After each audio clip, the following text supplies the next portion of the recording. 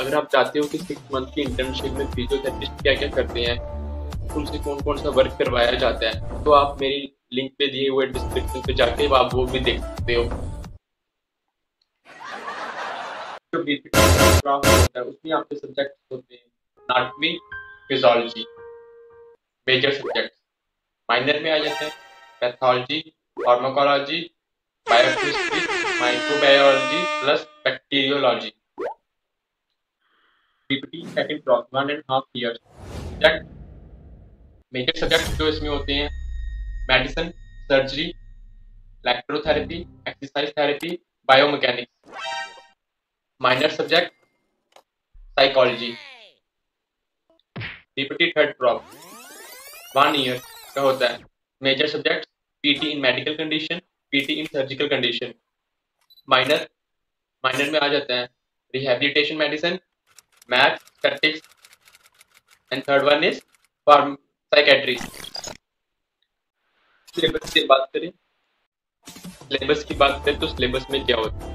जो PPT first crops के subject होते हैं एनाटॉमी फिजियोलॉजी जो मेजर सब्जेक्ट होते हैं, इनके थ्योरेटिकल प्लस प्रैक्टिकल एग्जामिनेशन होता है। उसमें जो सब्जेक्ट हो, जैसे अनाटमी है तो ह्यूमन बॉडी से रिलेटेड होगा, इन डेप्थ में आपको पढ़ाया जाता है। उसमें के अंडर आए थे न्यूरो अनाटमी अलग अलग स्ट्रीम्स होते हैं, वो सारे इसके अंदर आपको पढ़ाया जाता है। फिजोलॉजी जैसे कि respiratory system digestive system organs के बारे में, वो भी आपको डेप्थ में पढ़ाया जाता है। अब सेकंड ड्रॉप में क्या आता है, आपको फिजियोथेरेपी के जो सब्जेक्ट होते हैं, जैसे इलेक्ट्रोथेरेपी हो गया मोडालिटीज के बारे में एक्सरसाइज थेरेपी एक्सरसाइज के बारे में बायोमैकेनिक्स मूवमेंट एंड मोबिलाइजेशन के बारे में।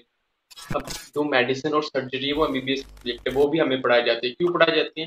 क्योंकि जो मेडिसिन और सर्जरी है, उनकी डिज़ीज़ थी अगर आपको पता होगी, तभी आप फिजियोथेरेपी डायग्नोज बना सकते तो इसलिए आपको मेडिसिन में और सर्जरी की जो सब्जेक्ट डिजीजेस होती हैं, इनके अंडर डिजीजेस आती हैं, वो सब आपको पढ़ाई जाती हैं। फ़र्स्ट प्रॉफ में जर्नल सेकंड प्रॉफ में डिजीजेस के बारे में प्लस अपना जो फिजियोथेरेपी का पार्ट होता है, जो लास्ट होता है थर्ड ड्राफ्ट में उसमें आपको टोटली फिजियोथेरेपी से रिलेटेड पढ़ाया जाता है और प्रैक्टिकल भी इसी ड्राफ्ट में कराया जाता है। क्या होता है, जैसे कि पीटी इन मेडिकल कंडीशन जो कंडीशन आपने सेकंड ड्राफ्ट में पढ़ी हैं पीटी इन सर्जिकल कंडीशन जो मैंने कहा था मेडिसिन और सर्जरी डिज़ीज़ पढ़ ली सेकंड ड्राफ्ट में अब थर्ड ड्राफ्ट में उनको पीटी ट्रीटमेंट के थ्रू आपको पढ़ाया जाता है ठीक है?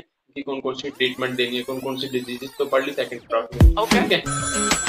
इसके साथ ही मैथ भी आ जाता है साइकेट्री भी माइनर सब्जेक्ट आ जाते हैं ठीक है? रिहेबिलिटेशन मेडिसिन आ जाती है बट इनके प्रैक्टिकल नहीं होते जो मेजर सब्जेक्ट है उन्हीं के प्रैक्टिकल्स होते हैं। ओके